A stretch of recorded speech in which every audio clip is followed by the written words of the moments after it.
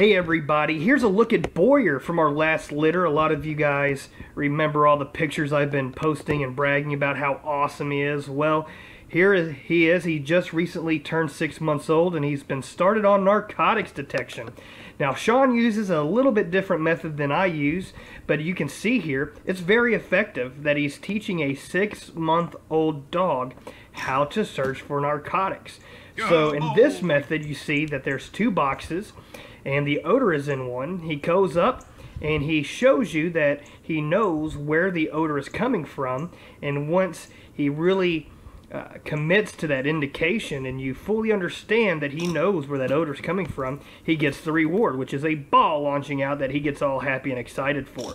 But that's what you look for in genetics. You look for trainability, you look for intelligence, and Malinois pretty much have it all.